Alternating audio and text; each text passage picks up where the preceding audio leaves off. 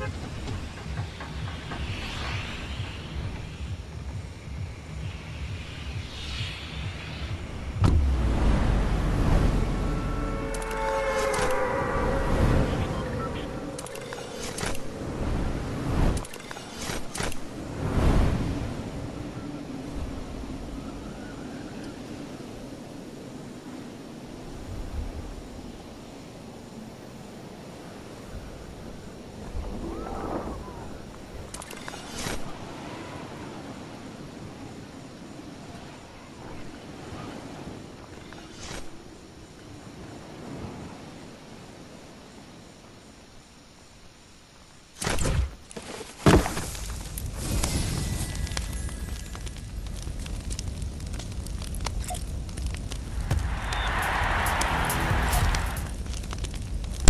tenemos la nueva skin.